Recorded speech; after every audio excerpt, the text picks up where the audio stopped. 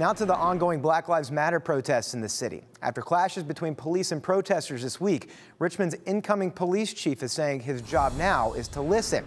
Our Matthew Foltz joins us live with more on how the recent leadership carousel at RPD will soon land on Gerald Smith. Matthew. Well, the big takeaway from today's presser with Gerald Smith, Jake, was that he says he is ready and willing to listen to community leaders and community members here in the city of Richmond.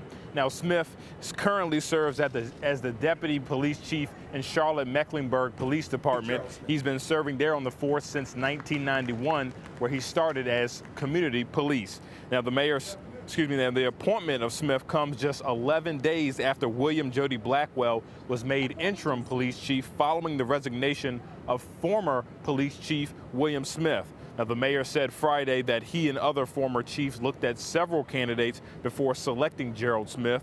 Now, Smith also said on Friday that the job was on his radar once former police chief William Smith resigned. Now, he said he also says that he and the mayor's office had mutual phone calls during the whole process, and going forward, he hopes to build this community police relations here in Richmond.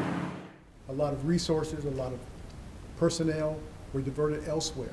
I don't think we ever got back to it. And maybe these people here, maybe they don't want community policing, but that's the question I will ask. That's the question I'm going to listen to. Whatever they want, whatever they want, that's what we're going to do. We're going to work together to make a good department great. Now, Smith won't officially resume his role, excuse me, take his role here in Richmond until Wednesday, July 1st.